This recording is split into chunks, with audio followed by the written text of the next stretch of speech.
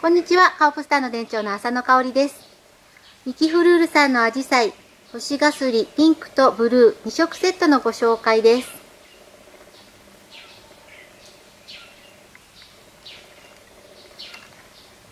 星のような形とクレヨンで塗ったような模様が特徴の星ガスリ。